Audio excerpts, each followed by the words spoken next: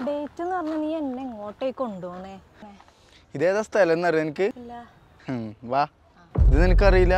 ഇത് പണ്ട് കൊച്ചി റൂൾ ചെയ്തിരുന്ന രാജാവ് ബ്രോന്റെ വീടാ.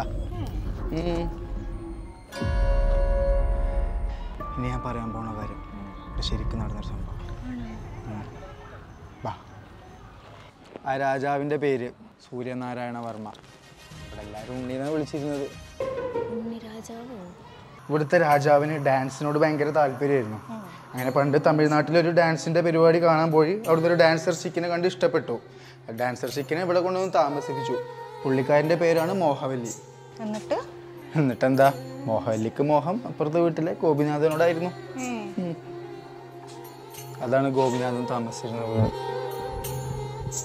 ഇതൊക്കെ അറിഞ്ഞ രാജാവ് ഈ കുളത്തിലിട്ട മോഹവല്ലിനെ മുക്കിക്കൊന്നു പക്ഷെ നാട്ടുകാർ പറയണത് മോഹവല്ലിയുടെ ആത്മാവ് ഇവിടൊക്കെ തന്നെ ഉണ്ട് എന്നാണ് അമ്പട കേമ സണ്ണിക്കുട്ട